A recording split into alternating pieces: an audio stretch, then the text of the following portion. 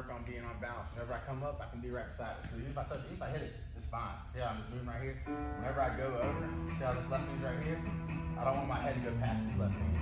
When I go over this way, I want my head going past this right knee.